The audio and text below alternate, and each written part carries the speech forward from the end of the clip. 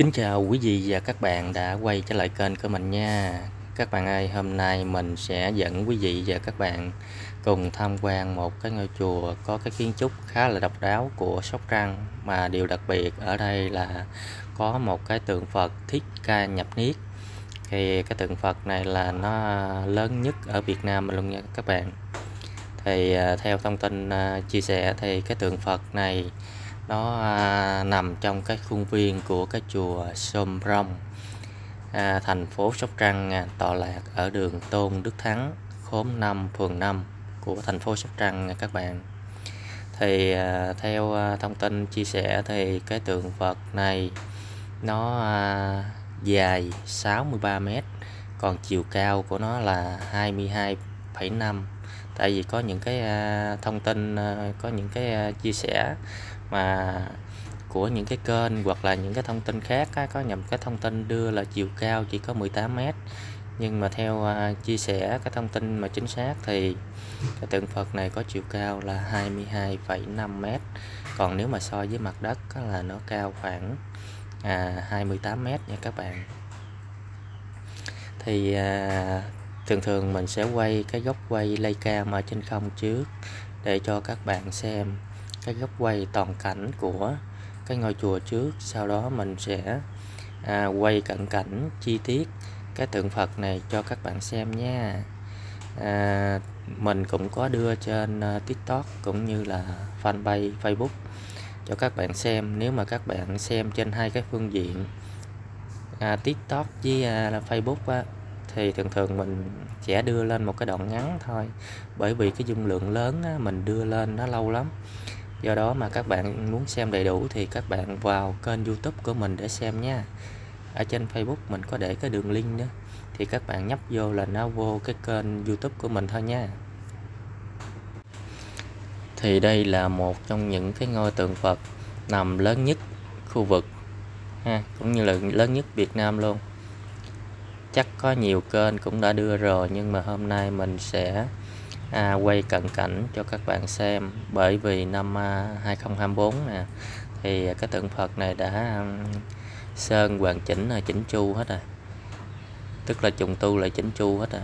Bây giờ mình sẽ à, quay cận cảnh chi tiết từng đường từng nét cho các bạn xem nha.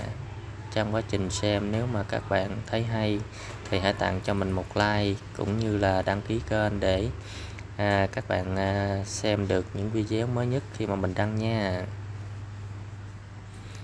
Các bạn thấy không? À, từng đường nét cũng như là từng chi tiết được à, khắc rất là chỉnh chu ha. Rất là tỉ mỉ màu sắc thì rất là đẹp luôn. Cũng là nền trắng ha. Nền tông trắng rồi à, màu à, nhũ vàng. Rồi cái tượng Phật thì à, cái màu này hình như là à, xanh mà nó ngã ngã cái màu xám á các bạn. Xanh mà nó ngã ngã màu xám chứ không phải là xanh à, đậm ha. Thì ở đây nó có à, những cái à, ngôi tháp nhỏ nhỏ ở phía trước nè. Các bạn thấy không? Từng đường nét từng chi tiết nhỏ nhỏ mà được chạm khắc rất là công phu luôn. Thì à, mình sẽ quay ở khu vực ở dưới tầng trệt trước rồi à, mình sẽ đi dài dài lên trên à, cái tượng Phật để mình quay nha. Các bạn đừng à, dội rời khỏi màn hình nhé. Thì ở đây mình cũng à, đã cố gắng à, à, rút ngắn cái đoạn clip lại để cho các bạn xem đỡ ngắn nhưng mà nếu mà ngắn quá thì mình quay không hết những cái chi tiết để cho các bạn xem thì nó cũng ổn do đó là mình cố gắng mình rút ngắn cái video nhưng mà đảm bảo đầy đủ cái nội dung để cho các bạn xem. Bởi vì đó giờ mình thấy là cái tượng Phật này cũng có nhiều à, cái kênh cũng như là nhiều cái phương tiện truyền thông đưa lên. À, thì năm nay đầu năm 2024 nè người ta cũng đã à, sơn phết à, cơ bản hoàn chỉnh rồi mình sẽ quay cho các bạn xem à, cái đầu năm 24 này nó có khác gì với à, những năm trước hay không? Thì mời các bạn cùng xem nha. Thì ở đoạn cuối của clip thì mình cũng có à, vô cái nội thất ở bên trong của à, tầng trệt đó do là các à, à, sư đang à, sơn phết với à, đang à, chỉnh chu mấy cái chi tiết ở trong đó, cho nên là mình chỉ à, quay sơ bộ ở trong để cho các bạn xem mấy cây cột đồ á, nó rất là đẹp luôn các bạn. Nhưng mà tại vì chưa có sơn phết hoàn chỉnh cho nên mình chỉ à, quay qua cho các bạn xem thôi. Còn bây giờ mình đã à, đi lên khu vực phía trên của tượng Phật này các bạn. Khá hoành tráng luôn. Ở đó giờ đây là lần đầu tiên mình lên tới trên này để mình review nè.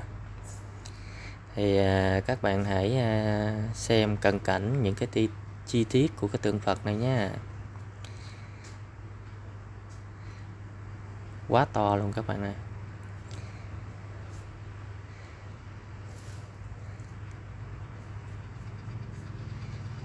Các bạn xem nhớ ủng hộ mình nha. Ủng hộ mình bằng cách like cũng như là đăng ký kênh để khi mà mình đăng cái à, clip mới các bạn à, biết mà các bạn xem. Thì mình sẽ quay cái mặt trước trước rồi mình đi một vòng để mình quay cái mặt sau nữa cận cảnh cho các bạn xem. Thì cái màu sắc à, khá là bắt mắt luôn do là mới qua Tết với cái này. À, mới à, sơn phết rồi lại cho nên là quá đẹp ha các bạn.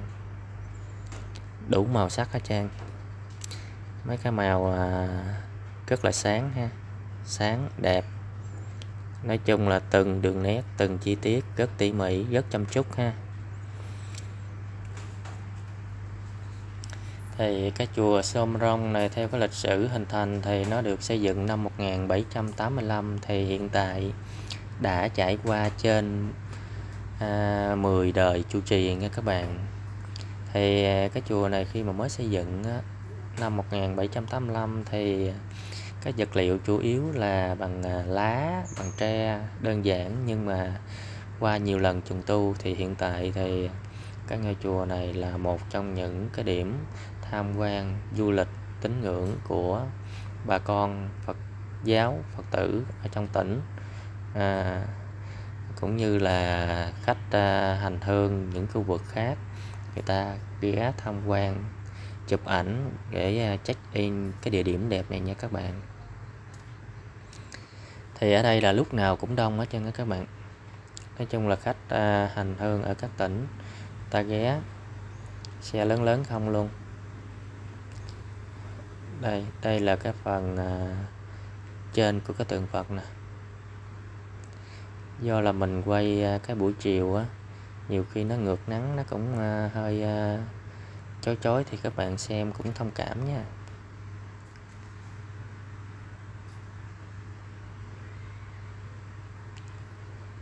Những cây à, cột của cái à, lan can cũng à, làm rất là chăm chút ha rất tỉ mỉ luôn đây có một cái bảo tháp nhỏ à, người ta đang hoàn chỉnh thì nói chung cũng có nhiều người thắc mắc tại sao cái ngôi chùa có tên là sông rong thì à, theo mình được biết á, thì à, sở dĩ cái ngôi chùa này có tên sông rong là do khi mà mới cất ở đây á thì cái khu vực xung quanh chùa nó có rất là nhiều cái loại cây mà cái loại cây này có tên gọi là cây sâm rong. Cho nên là à, lấy tên ngôi chùa là chùa sâm rong luôn nha các bạn. Các bạn thấy không? Cái ngôi à, tượng Phật này á xây dựng cũng rất là kỳ công ha. Quá kỳ công luôn. Nói chung xây dựng trên một cái diện tích cũng khá lớn thì à, cái diện tích hết của cái ngôi chùa là 5 hecta tức là bao gồm chánh điện sala nhà nhà dành cho sư sãi rồi đó các bạn. Cái diện tích toàn bộ của cái ngôi chùa là khoảng 5 hecta ha. Nói chung là trong cái khuôn viên chùa này nó rất là đặc sắc rất là nổi bật. Bởi vì nó chia thành nhiều cái khu vực khác nhau để cho à, bà con phật tử cũng như là khách hành hương trong và ngoài tỉnh tham quan. Và nổi bật nhất là nó có một cái bảo tháp nữa các bạn. Nếu mà từ ngoài cổng đi vào là tới cái bảo tháp trước ở bên bên. Còn cái nội thất ở trong à, cái ngôi chùa nó rất là đẹp luôn. Mình cũng đã từng quay đưa lên rồi các bạn. Cho nên là hôm nay mình không có quay nội thất của cái ngôi chùa nữa mà chủ yếu là mình sẽ quay cái tượng Phật này để cho các bạn à, gần xa xem được cận cảnh của cái tượng Phật. Bởi vì à, có nhiều kênh quay thì à, cũng sơ bộ vòng vòng ở ngoài thôi chứ mình cũng thấy ít kênh là nó chia sẻ cận cảnh cái tượng Phật. Cho nên là hôm nay mình quay cận cảnh cái tượng Phật đầu năm 2024 này cho các bạn xem. Thì một lần nữa thì mình cũng xin chân thành cảm ơn cả nhà đã luôn ủng hộ mình trong cái thời gian qua.